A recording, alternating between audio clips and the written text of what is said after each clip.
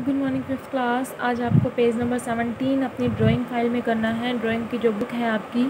इसमें करना है आपका ये जो आज का टाइटल टॉपिक रहेगा पिकॉक पिकॉक में आपको colour the Gond art using sketch pen as shown अब ये गोंड आर्ट क्या होता है? देखिए गोंड आर्ट एक मध्य प्रदेश का आर्ट है। इसमें अपनी ये कहानियाँ और वहाँ की जो संस्कृति है, उसको ये कथाएँ हैं, उसको ये एक पेंटिंग में शो करते हैं और ये फ्री हैंड यूज़ किया जाता है। देखिए, जो इन्होंने यहाँ पर डिज़ाइनिंग की हुई है, आप देख सकते हैं। तो ये जो डिज़ाइनिंग आपको है स्केच पेन का यूज़ करके आपको इनके बीच में आपको इसी तरह से ही ये कलर यूज़ करने हैं और इसी तरह से ही आपको बीच में यहाँ पर डिज़ाइनिंग करनी है ओके तो ये एक मध्य प्रदेश का गोंड आर्ट है तो वहाँ से ही ये जो ड्राइंग है, ये ली गई है तो आपको इसी तरह से ही ये कलर करने हैं ओके थैंक यू